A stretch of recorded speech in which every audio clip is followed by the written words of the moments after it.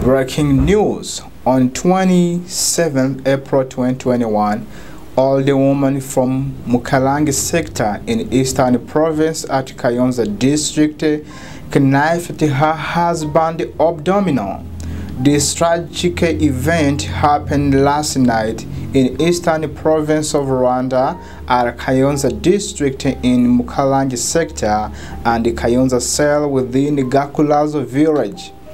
The secretary executive of Mukarange sector called Claude Murekezi said family conflict was an accident took place last Tuesday in the night when a man was turned home before his spouse to come home and his wife she turned home too late and she was dragged at the bottom her husband asked her where she was, and in that moment, the woman shooted knife to her husband abdominal. We noticed that this is a family conflict.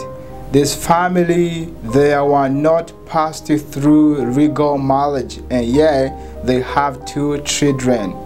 Executive Secretary, his name is Murekezi Claude, said after a few minutes, the family will try to take a husband immediately to hospital at Mukarange Health Center to meet a doctor while his wife was immediately disappeared to the point where nowhere to be found her. The local readers normally used to encourage the whole family to not have a fight because a fight is another approach for problem resolution.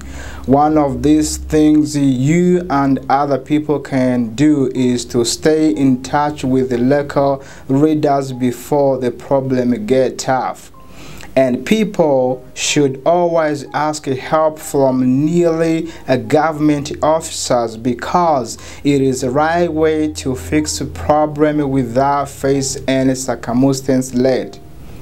And to reduce imprisonment for year we urge that to live together legally and to avoid negotiation within themselves it will help them, he said. The man was wounded to death by his wife. The man is at Mukarange Health Center while the woman was still being wanted by security service and still now nowhere to be found her. We are still follow up the story. We will back to you while we get anything to share with you. Thank you very much for watching us and stick with us.